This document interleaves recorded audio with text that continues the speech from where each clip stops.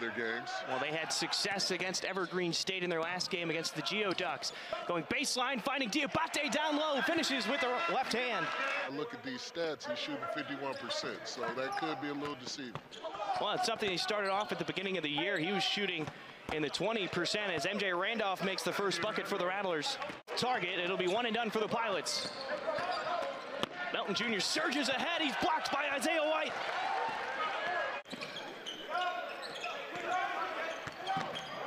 Trying to get around the defender. Now to Cole. Deep three from the far wing. That'll be the first three-pointer for the Rattlers tonight. Adams to White. White beats his man on the first step, drives for two and one. And usually with him, once you get the, the scoring going, that's usually when the ball starts. There's that defensive intensity you were talking about. Rebound off the foot of Farabee. And it's going to be Evans Desir who finishes the play. He'll head to the line. Saw himself get eight points. Now he goes up against Evans Desir. Desir pulls up for the jumper, using the glass for two. Reaves to Melton Jr. back down to Desir. And that'll go for two. Averaging just under 10 points a game.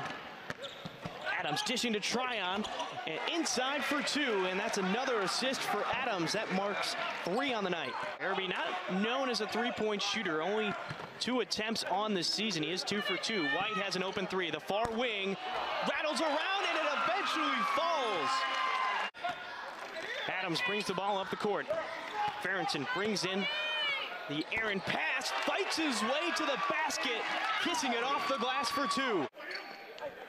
Welcome back inside the Chiles Center. Brian Slide, Kanan Chapman with your call. Isaiah White, a small burst to start the second half, and that's seven points. But like I had alluded to earlier in the first half, it's not just a one-on-one -on -one situation. And Tryon with his fifth block. White back to Adams on the near wing. Step back from Melton. The two makes it look easy. I think the Rattlers are going to continue to pick up their defense. Coach McCullum is throwing a couple of different looks at him. He's picking up full court. He's throwing a little bit of zone action, while Isaiah